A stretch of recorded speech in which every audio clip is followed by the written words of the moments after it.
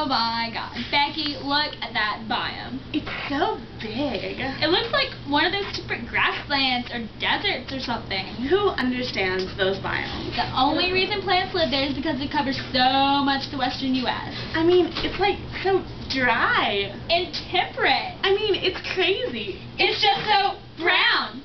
I like temperate deserts and I cannot lie. You other vines can't deny. When a girl walks on that flat, dry place, you get dust up in your face and you get sprung. You want to pull up tough because you know that weather is rough.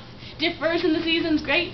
It's hot and cold, don't hate. Oh, bye, I want to get with ya and take your picture. My classmates try to warn me, but the song makes me look so corny. Oh, Mr. Rain Man, you want to let them down? Oh, please, please. It's only 35 to 85 centimeters. I'll do a rain dance, because in the summer I sweat, sweat. Get the fence going like a turbo jet.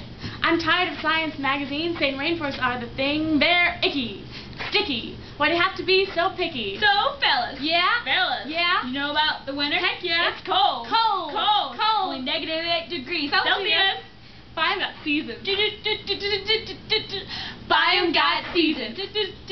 I like it flat and dry. But even so, the plants grow, but you never have to mow. Because the soil, the plants want to grow, baby, grow, grow. I'm talking about acidity and rich in organic matter. I want them Real small and grassy, still found in grassy plant forms. They're the norm. Just step out of your dorm. So, ladies. Yeah. Ladies. Yeah. Did you learn about the biome? Yeah, so go out and shout about the temperate grasslands and deserts. Temperate deserts.